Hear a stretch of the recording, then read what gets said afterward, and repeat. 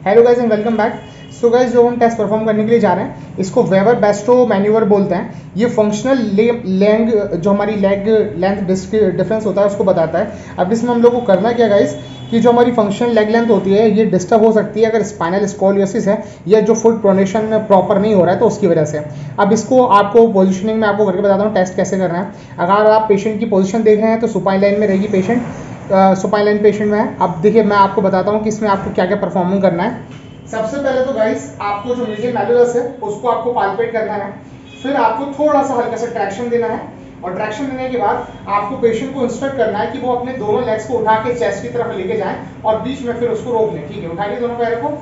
बढ़िया। देखिए, इस पोजीशन पर लेने के बाद आपको मिडिल मैलुलस को पालपेट करके रखना है और फिर पेशेंट को इंस्ट्रक्ट करना है कि वो अपनी कमर को उठाएँ। ठीक है, उठाइए। हाँ। होल्ड करके रखिए होल्ड करके रखिए होल्ड करके रखिए। बढ़िया, नीचे कर लीजिए बहुत अच्छे।